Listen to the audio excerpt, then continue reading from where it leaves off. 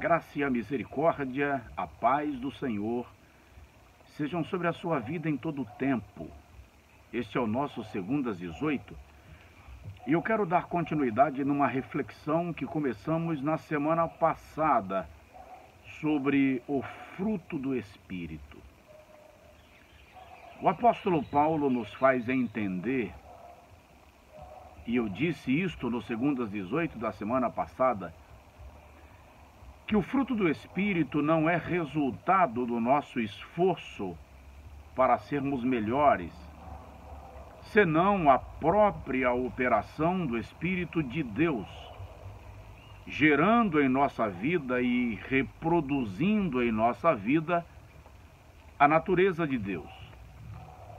Quando ele escreve aos Gálatas, no capítulo de número 5, versículo de número 22, o apóstolo diz assim: Mas o fruto do Espírito é amor.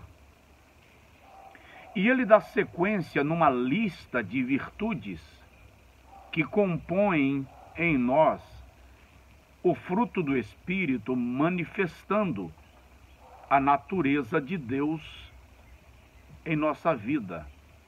Mas o que é o amor? Qual o sentido bíblico da palavra amar? O que o apóstolo Paulo quer nos ensinar quando nos ensina ou quando nos mostra e manifesta que o amor aflora em nós o caráter de Deus. E é tão interessante perceber que a ausência de amor ou a interpretação equivocada da palavra, a distorção dos sentimentos relacionados ao amor, se constitui num dos pecados que nós mais cometemos de maneira tão repetida e insistente. Pecamos por não amar. Pecamos por odiar. Pecamos por amar e não manifestar este amor em atos, em obras. Visto que o apóstolo João diz: Filhinhos, amemos não de palavra nem de língua, mas por obras e em verdade. Pecamos por dizermos que o que sentimos de maneira egoísta é amor. Porque todo sentimento que pensa na minha realização, mas não considera o bem-estar do outro, não é amor. É apenas narcisismo, obsessão, mas não é amor. No texto mais lindo de Paulo sobre o amor e um dos textos mais belos de toda a literatura universal, vamos chamar de o Salmo 23 do Novo Testamento. Paulo escrevendo aos Coríntios, no capítulo de número 13, faz um interlúdio no seu discurso dos dons espirituais escreve e descreve o amor. E é incrível que no capítulo de número 12, Paulo está falando sobre a manifestação destes dons e a manifestação da unidade do corpo de Cristo, como sendo nós membros deste corpo. Já no capítulo de número 14, Paulo fala sobre a supremacia do dom da profecia em relação aos demais dons.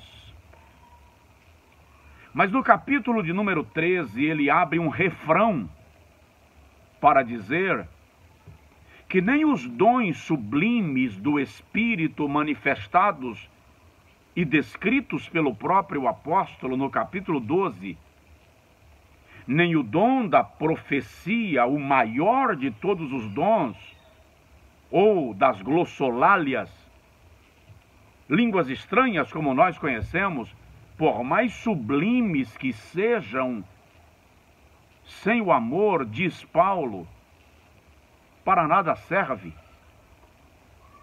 Ele diz: ainda que eu falasse a língua dos homens e dos anjos, e não tivesse amor, para nada me serviria. Paulo está dizendo que o conhecimento da linguística, da semântica, da etimologia, ainda que eu fale vários idiomas, e ainda que eu esboce a minha mais profunda espiritualidade em línguas estranhas, sem amor, não fazem sentido, não revelam Deus. Paulo diz: ainda que eu tivesse o conhecimento de toda a ciência, ainda que eu tivesse o poder do conhecimento, e pelo conhecimento eu pudesse compungir e atrair os homens. E ele diz: ainda que eu conhecesse todos os mistérios, e ainda que a minha fé atinja a expectativa ou a perspectiva da fé do tamanho de um grão de mostarda que move montanha de um lado para o outro lado, diz Paulo, sem o amor, nada seria. quão importância o apóstolo Paulo dá ao amor na prática e na experiência da vida, da vida cristã. E ele diz: ainda que eu distribuísse toda a minha fortuna em projetos sociais e eu desenvolvesse ações que mudasse a vida das pessoas, se isso não for movido pelo amor, será apenas a expressão da minha vaidade? Será filantropia vazia. Ainda que eu sacrificasse o meu próprio corpo, sem a expressão desse amor, seria religiosismo barato, mártir sem causa. Na linguagem de Paulo, o grande segredo a grande virtude, a grande expectativa, ou como diria Santo Agostinho, a mãe de todas as virtudes,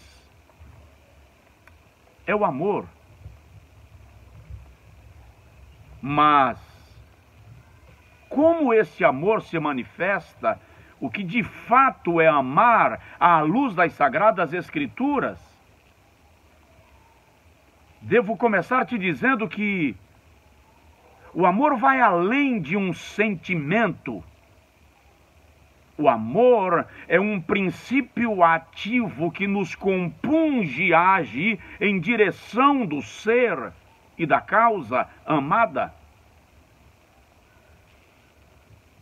O Senhor Jesus declara que o amor só pode ser vivido e ele só pode ser pleno se ele se manifestar em três vertentes.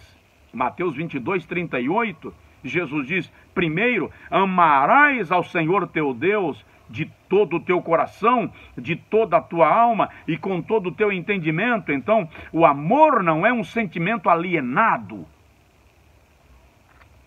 O amor não está nos contos das mil e uma noites, não está na obsessão desenfreada, descabida, sem sentido dos escritos novelescos. O amor envolve entendimento. E então Jesus diz: segundo nível do amor é amar a si mesmo, porque ele diz: amarás ao teu próximo como a ti mesmo. Antes de amar ao próximo, eu preciso praticar amor por mim, porque quem não consegue se amar não terá condição de amar a outrem. E então amarás ao teu próximo. Então, o amor não é um sentimento, o amor é um entendimento que se manifesta em forma de emoções, mas essas emoções se traduzem em ações, porque amor sem ação é falácia, é mera poesia, na melhor das hipóteses. Este é o nosso segundo às 18. O amor não é reciprocidade, porque quem ama de fato não espera, não depende, não precisa ser amado. E não confunda, saia do romantismo barato que as novelas nos venderam. O amor é a prática, é a ação, é a expressão de Deus em nós. Então, Paulo diz que a primeira manifestação do fruto do Espírito é o amor. E é incrível que Paulo diz: o amor é maior que a fé, a fé que salva, o amor é maior que a esperança, a esperança que nos mantém vivos. Passarão a fé e a esperança, mas o amor permanece. Linguagem do apóstolo Paulo. Eu devo entender e eu preciso entender que o amor é a maior comprovação da minha espiritualidade.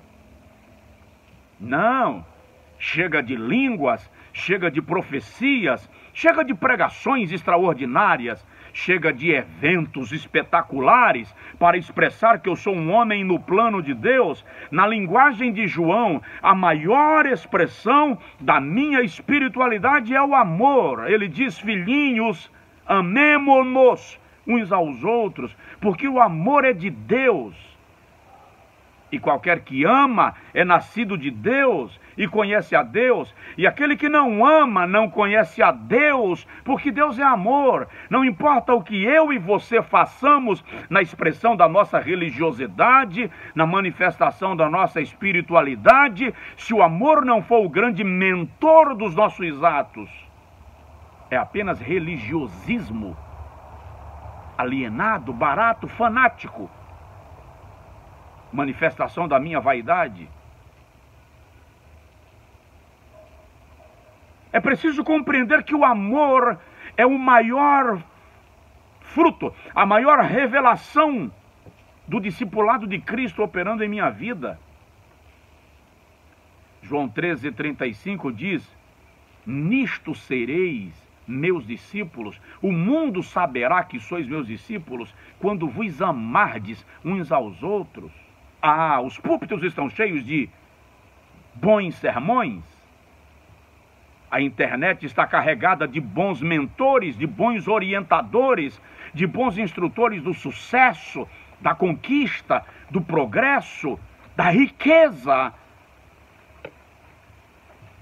Mas o amor não se ensina o amor se aprende na experiência. Ninguém pode ser mestre do amor senão o próprio Deus, que é amor. E o meu discipulado cristão é revelado quando eu coloco este amor em ação, praticando a experiência, a virtude do amor. O apóstolo Paulo diz aos Efésios, no capítulo 3, versículo 17 a 19, que o amor é tão sublime, ele é tão espetacular, que ele vê os defeitos, mas se concentra nas virtudes. Olha o que Paulo diz. Para que Cristo habite pela fé nos vossos corações, a fim de que, estando arraigados e fundados em amor, poderdes perfeitamente compreender com todos os santos qual seja a largura e o comprimento e a altura e a profundidade, e conhecer o amor de Cristo, que excede todo entendimento, para que sejais cheios do pleroma de Deus, da plenitude de Deus. Não há conhecimento da largura, da profundidade, da altura, da grandeza, da capacidade das coisas espirituais, se o amor de Cristo não estiver habitando em meu coração se o amor de Cristo não estiver sendo revelado em mim pelos meus atos. As virtudes do caráter de Cristo não são revelados em mim sem manifestação do amor. Nada do que eu faça, disse Paulo aos Coríntios, sem o amor representará nada no mundo espiritual.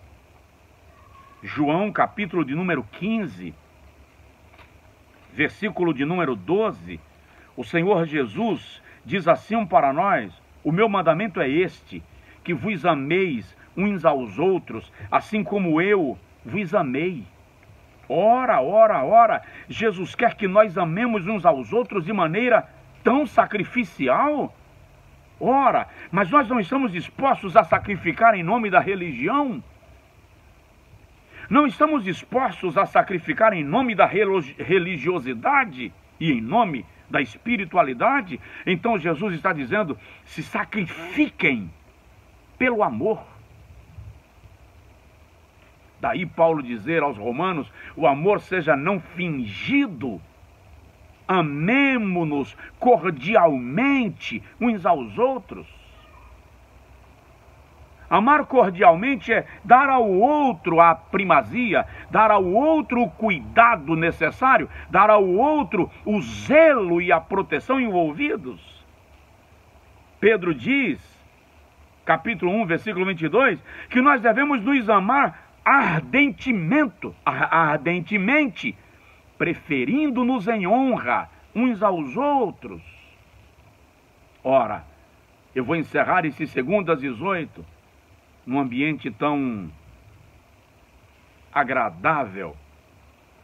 Eu me afastei um pouco da pequena cachoeira, porque ela estava interferindo na minha voz, e eu gostaria de fazê-los ouvi-la, para que vocês entendam que o amor flui tão naturalmente como o rio, e ele revela a natureza de Deus em nós.